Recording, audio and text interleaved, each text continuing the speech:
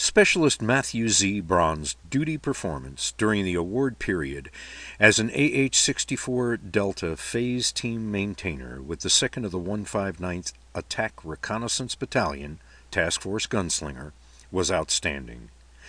He personally worked on 20 AH 64 500 hour phase inspections from May to December 2012.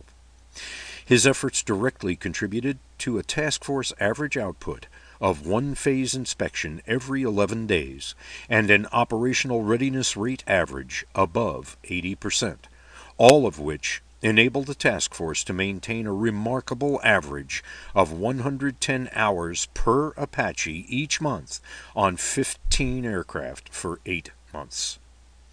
The availability of these combat aircraft were the number one reason that Task Force Gunslinger was able to support two brigade combat teams, Task Force 310 and the Theater Operational Reserve Force while deployed to Afghanistan in support of Operation Enduring Freedom. His extremely hard work and dedication to excellence in both scheduled and unscheduled maintenance allowed the task force to surge beyond normal expectations and meet the demands of multiple ground force commanders.